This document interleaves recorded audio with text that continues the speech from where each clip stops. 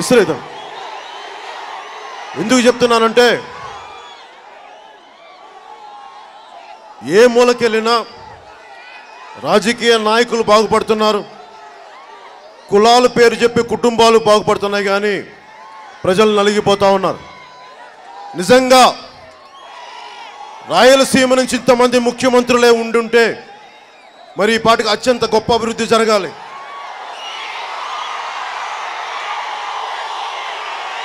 పడిపోతారమ్మా మీరు.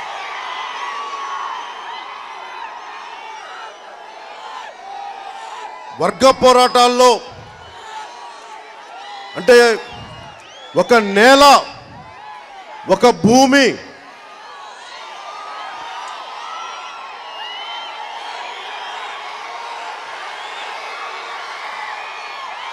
ఎవరి గుత్తాధిపత్యం కాదు. ఆళ్ళగడ్డ ఒక కుటుంబం గుత్తాధిపత్యం కాదు. రాయలసీమ కొన్ని కుటుంబాల గుత్తాధిపత్యం కాదు. ఇది భారతదేశం ఈ నేల అందరిది అన్ని మతాల వారిది అన్ని కులాల వారిది. కేవలం ఏ ఒక్కరికో ఏ కొద్ది మందికో అంటే మారాల్సిన పరిస్థితి ఉంది. నేను అండగా నిలబడేవాడిని ఒక సామాజిక వర్గానికో కొన్ని సామాజిక వర్గాలకో కొమ్ము కాసేవాడిని కాదు. కులానికి మతానికి ప్రాంతాలకి అతీతంగా అందరూ బాగుండాలని చెప్పి జనసేన పార్టీ పెట్టాను. మీరు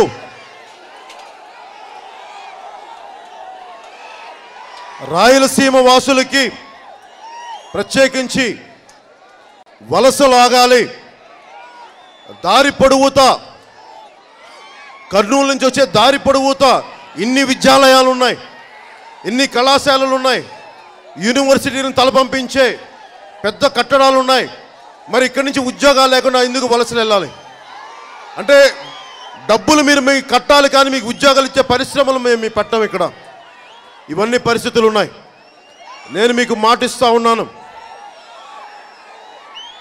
అన్ని కులాల వారికి అన్ని మతాల వారికి సమాన న్యాయమైన అవకాశాలు లభించి ఏర్పాటు చేస్తాను.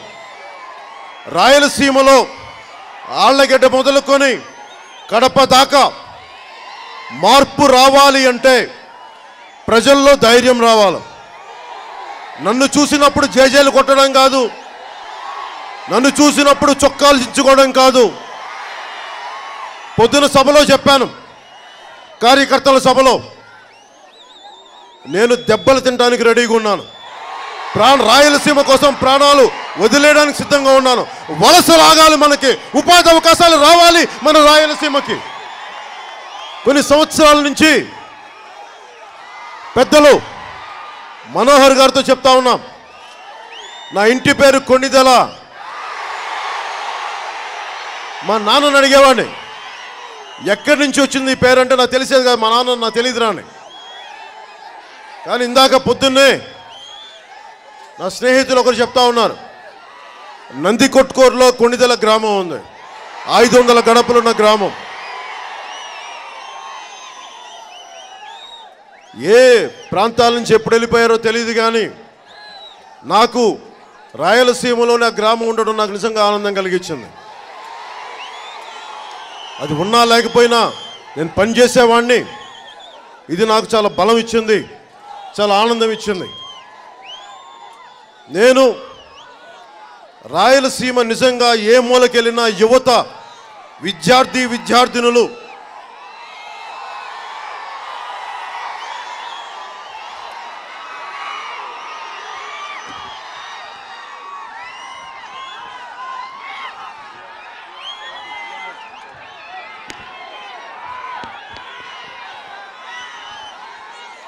రాయలసీమకు సంబంధించి ముఖ్యంగా యువతలో చాలా బలమైన మార్పు కోరుకుంటా ఉన్నారు. అంటే రాయలసీమ ఎందుకు అభివృద్ధి చెందట్లేదంటే అధికార పక్షం ప్రతిపక్షంలో ఎవరున్నా కానీ ఈ కుటుంబం అటు వెళ్ళిపోయి ఆ కుటుంబం ఇటు వచ్చి మళ్ళీ వీళ్ళు అటు వెళ్ళిపోయి రంగుల రాటంలా తయారైంది. అరవై శా అరవై నలభై అంటారు. సిక్స్టీ ఫార్టీ రాజకీయం అని చెప్తారు రా రాయలసీమ.